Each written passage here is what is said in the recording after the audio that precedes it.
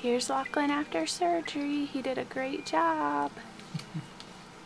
He's awake, looking at his dad, kind of looking at mama. And this is his belly. Over here, they tried to put in a, a line that didn't quite work, but there's his belly with the bandages and his ostomy, but he's doing really well. I'll get the camera out of his face.